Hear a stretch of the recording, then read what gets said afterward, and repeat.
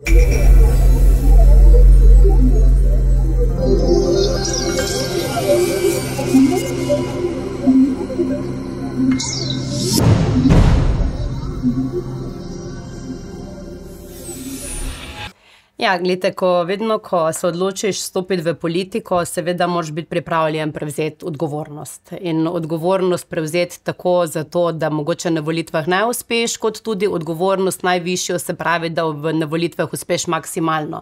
Jaz mislim, da bi bilo blazno neodgovorno do volivcev, uh, reči, da te odgovornosti nisi pripravljen uh, prevzeti. Uh, torej, ni to bilo nikoli izraženo kot želja, ampak v bistvu nekaj, o čemer sem bila pogosto vprašana in seveda na kar sem tudi pripravljen.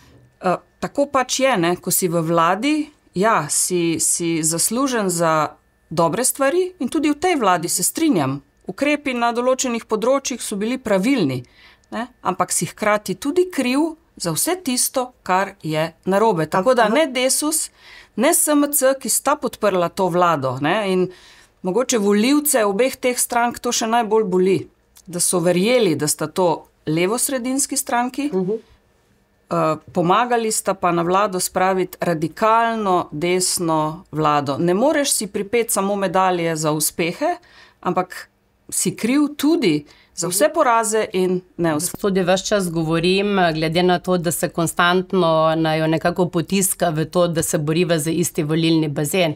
Jaz vedno povdarjam, več, ko se nas bo potegovalo za pravice te, bom rekla, starejše generacije in pa nasplošno, za, bom rekla, izboljšanje demografske slike in boljši položaj vseh v tej demografski strukturi, boljša prihodnost zagotovo jih čaka in tukaj ni potrebno nobenega kontriranja in nasprotovanja, vkolikor delamo v isto smer in za iste cilje, jaz nimam nobene težave pri tem, da se voljivci pa sami odločijo, komu. Gospod Bratušek, ste pripravljeni sodelovati? No, bodo seveda o tem odločali voljivci, bom rekla nas pa to, da je um, stranka gospe Pivec ali pa gospa Pivec pripravljena požreti vse stvari, ki so bile narobe v tej vladi, nekoliko moti. To. No, marsikaj je bilo narobe tudi v vseh preteklih vladah, mogoče ne bi zapletali v to.